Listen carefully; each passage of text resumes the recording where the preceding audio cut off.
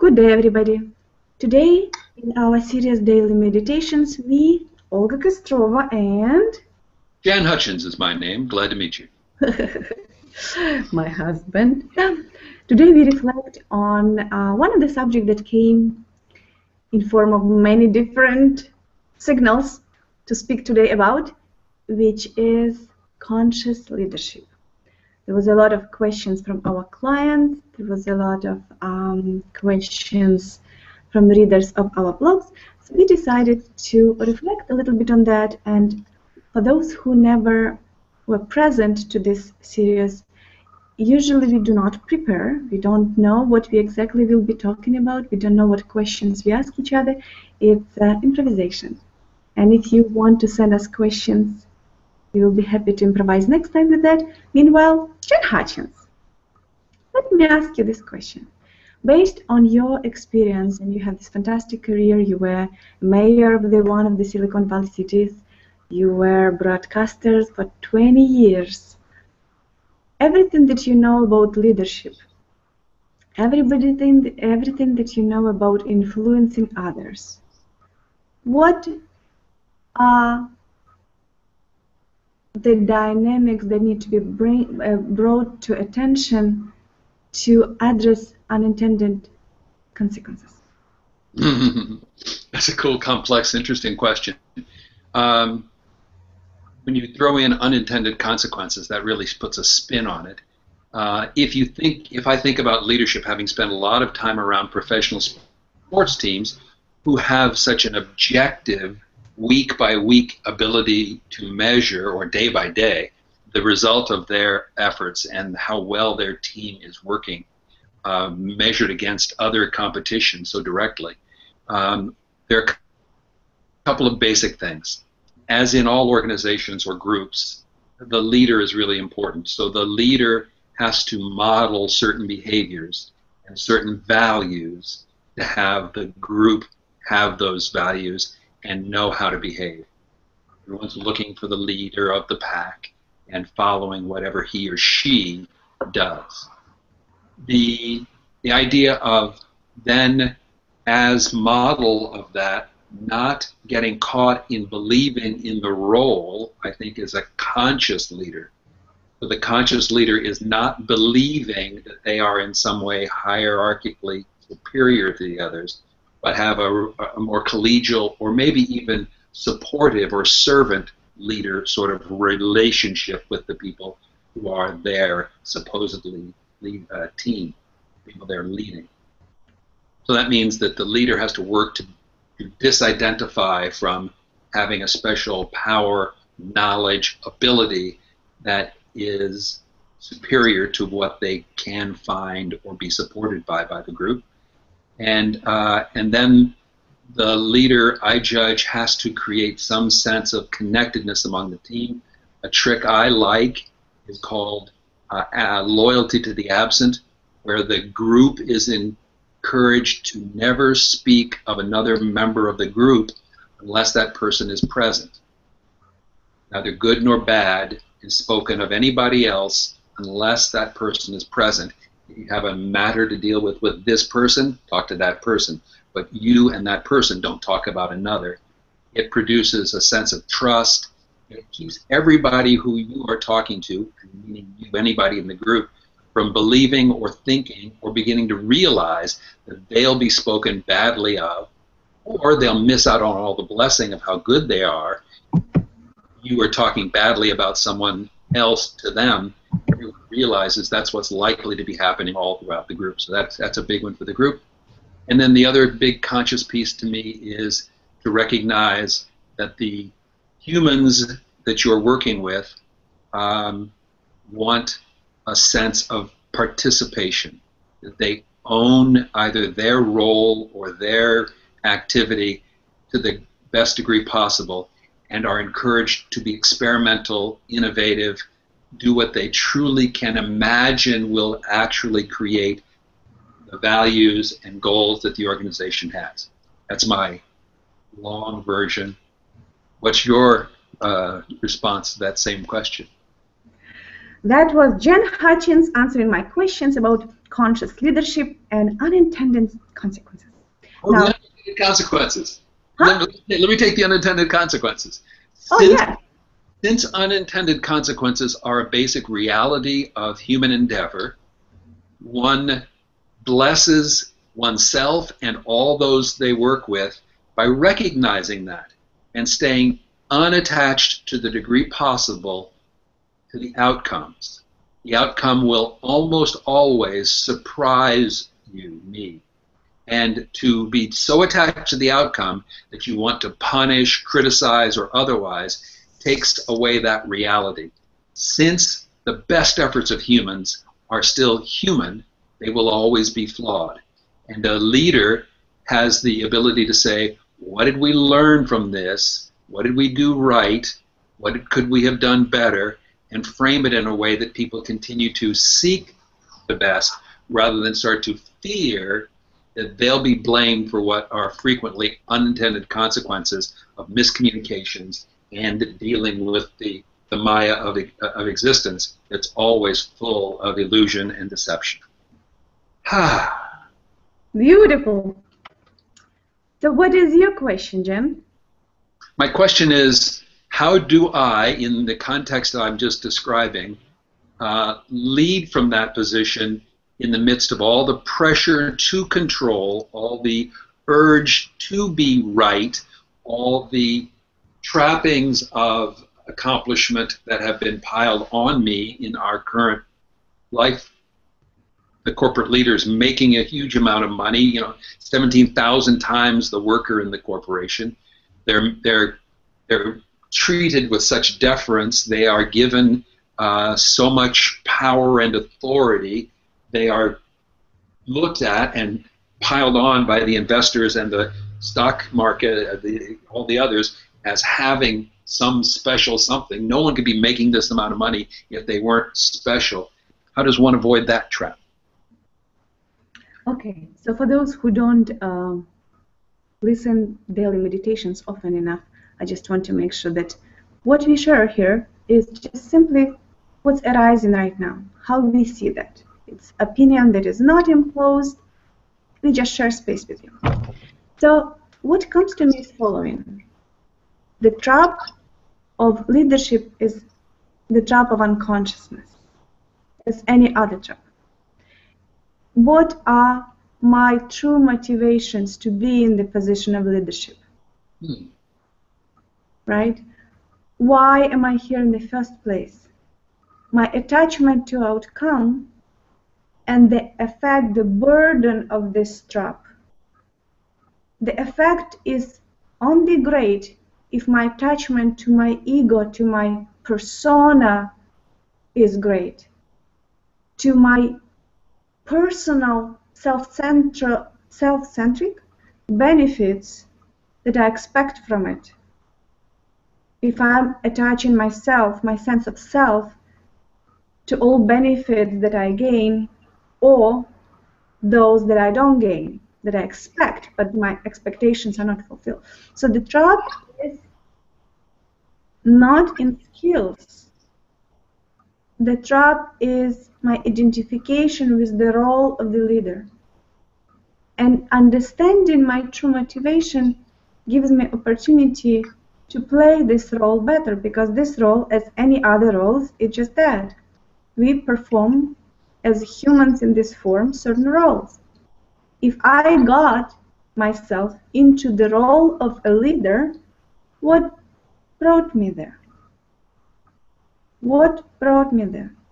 if I truly want to serve, for example, if I truly want to serve certain community that has certain needs, then all I focus on is do absolute best, my absolute best, based on the data that I have today, which is knowledge that I have, information that is uh, available to me today, do my absolute best to serve this community and these needs. And not worried about how I'm perceived, what others think about me, how does it reflect my personal brand, and so on and so forth. But it very rarely exists in this pure form, right? And the reason why, because the reason why we want to influence people is not purely out of this selfless motive. I hardly ever saw anybody in leadership position whose only motive is to serve those people, whatever community is. Very often motive is different. How am I great impact and leave a legacy? But it's not about them, it's about you. Right? I am the leader, I want legacy, I want to play big. I don't want to be this nobody. I want to be somebody. I want to be great leader that does that, that, or another. In that, that, or another role. A social leader, commercial leader, CEO of this kind of company and that kind of company. At the end of the day, the trap is trap of unconsciousness, trap of the ego. If the ego is watched and understood, then there is no trap because we purely step in the position of observer and know that whatever is self-imposed does not matter. It just thoughts, it just emotions, it's just illusions. Come back to the service. Come back to how can I do it in any in the best possible way. And very often it means include your community in decision making because if I stop perceiving myself as a knower, I lead, therefore I know, therefore it will be as I decided so. Well, there are a lot of traps around how much do you actually know? How can you see your blind spots?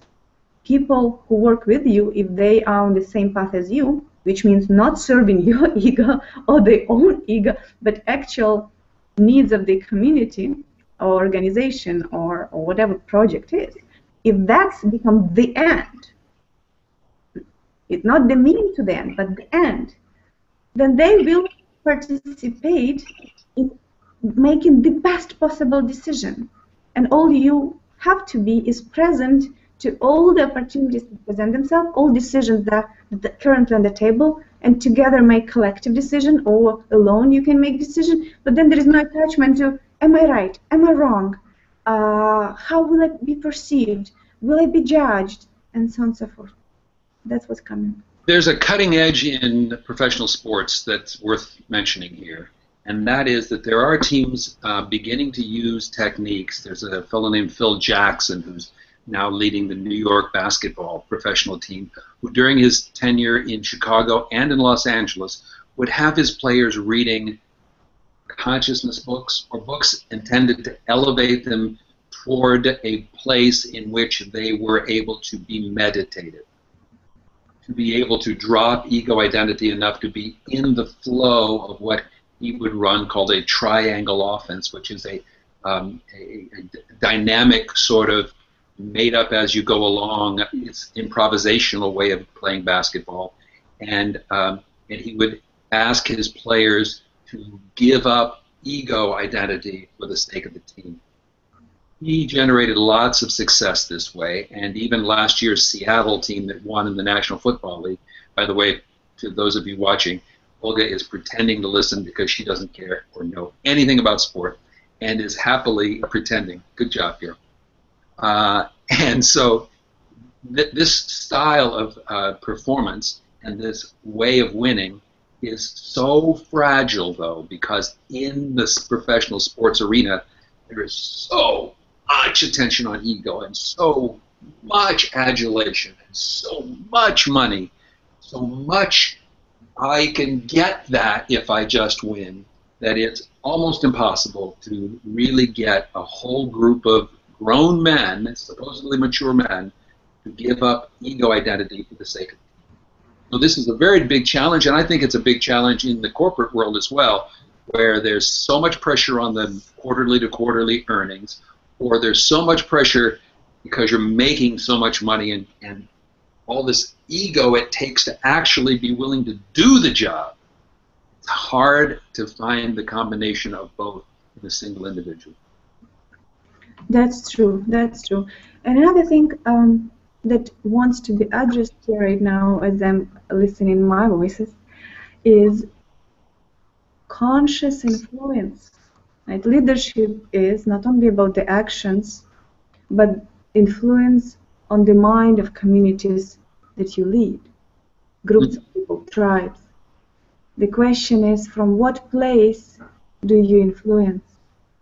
From what mental space do you influence others? Because influencing is changing the reality of another human being, the reality of the group. Changing reality is not that hard. Influencing people, that's not hard. If you understand the psychology of the human being, influencing, influencing of another person is pretty easy actually, right? So then the question of consciousness comes in many different aspects. What is my place from which I'm influencing? What is it? What is it for you? Hmm? What is the place from which you seek to or do influence others? How conscious I am, how conscious I am to my motives. Mm. What is the level of conditioning that I make conscious decision to impose on another. There is hardly influence in other without reconditioning in them. We all are conditioned beings. For me to influence you, you need I need to submit you to my point of view, which means change your conditioning, or to understand your current conditioning and merge with that. Is that correct? Come to some agreement and then and the way how I can influence you, I am extrapolate what already matters, your belief, current belief systems. I extrapolate your benefits in a way, right? For me to influence you, I need to show you benefits of belief system that I'm trying to offer to you, right? We'll My beliefs. If you uh, are willing to give up your ego, we can win the title. Exactly, right? So I need to create a dream for you. If you have the dream, I need to merge with the dream and draw it better. Or I need to create new, better dream for you, right? Job says we're going to have the best product anyone has ever seen. We're going to change the right. world. Right. get everybody to be so excited about that vision that they'll give up their individual desires. Yeah. So now there is few realities that I need to be conscious of I need to understand what I'm doing here. I am manipulating you by influencing you. There is so much of it. Oh my God, there is so much of it. Right? I consciously know that I'm manipulating your consciousness, your reality, as I'm influencing you. There is a lot of it. People understand it. There is also a lot of unconscious manipulation. People don't understand. They believe in some higher good in some greater good. But they don't understand the true motive why, why influence happened because, because influence is kind of manipulation. I'm not saying it's negative. I don't put negative connotation, but I manipulate your reality by influencing you. Is that correct? Is it true? Does it resonate? Right? To influence, I need to manipulate your reality to whatever degree, alter a little bit. And then you're with me. By altering it, maybe I just simply boost it up. It's already what you believe, and now I just boost it up so you feel better about your belief system. Now someone who understands me, now someone who hear my longing or whatever it is, right? Oh, so, right. able to get that for folks. Right, That's how merge in that, or I take your reality and twist it to create new one. Kind of. That's how I see influence happen. And then, of course, there is a lot of elements to you know channels and media and that and that. But at the end of the day, when you speak from standpoint of consciousness, here is I'm conscious of few things. I'm conscious of the subject. I'm now bringing it. I'm conscious of my motives and methods, and I'm conscious of your level of consciousness right now and its effect in the future, effect of my influence on your level of consciousness in the future. So your existing reality, I need to understand that, and I need to understand the new reality that I create. And now we're speaking about true consequences, intended, intended, and unintended. Make sense? Yeah. now. I created completely new level of consciousness. Not not level of consciousness. I might not create new level of. I created new reality, new construct, manifested form of the thought. The thought that I seeded in your mind now take very different form because now you will take different actions that you would you would take them otherwise. What those actions will be.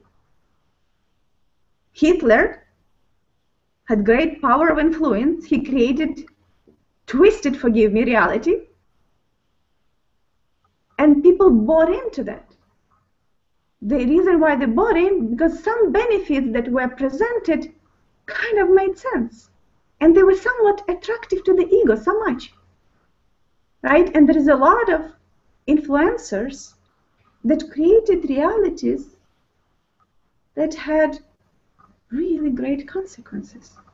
Whether they were intended or some unintended yeah, just today they were burying five uh, additional bodies from jonestown which was where this fellow from san francisco had taken a whole bunch of folks who were well intended and believed in this fellow down into the jungles of Guyana or somewhere like that. I forget where exactly it was, British Guiana, and uh, had them all drink poison when he was about to be discovered as the charlatan and fake that he was.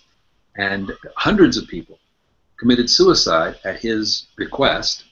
It was ordered. I think they had guns on them um, as part of that process. And so this kind of manipulation of reality happens a lot around institutions, a variety of institutions uh, in our world. So, and it happens not only on the level of, you know, how it's perceived to be evil, you know, the, the death, something leads to the death, to homicide, I mean, whatever it is, right?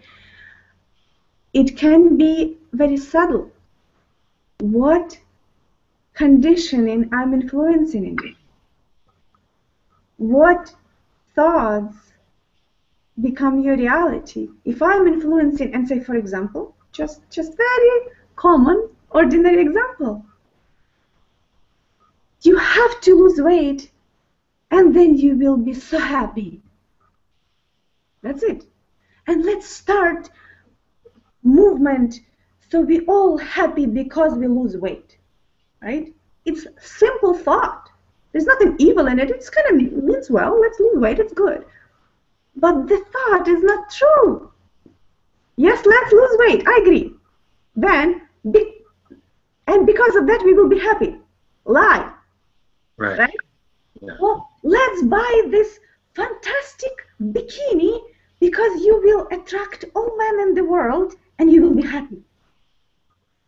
Yes, in bikini you might look good or not, whatever it is. In bikini is bikini. It's a piece of cloth. You put it, you look that or another you will attract all men in the world oh, whatever you attract will have its consequences right? but but as influencers we seed thoughts we condition we change reality therefore we recondition so that may be a, a form of leadership uh, that is underappreciated in our world this sort of emptiness form of leadership I, I get to serve on men's initiation weekends in a role called ritual elder and I'm considered, or people who are playing that role on the weekend, as part of the leadership team. But the real role is to actually be empty.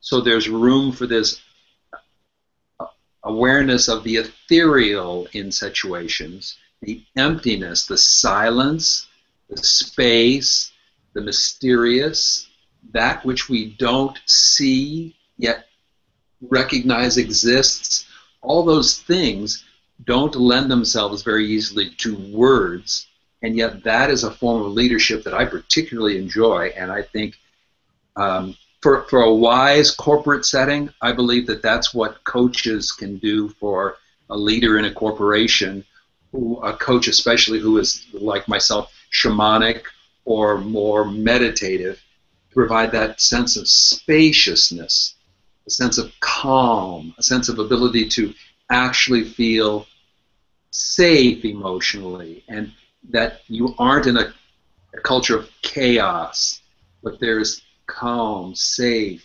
sweet. And more space for pure presence, where there is opportunity to actually see what's happening as is, as is, and by being influenced all the time by media and, and, and work environment and social life, we are influenced all the time, and the presence must be here to understand what are we piling on over here.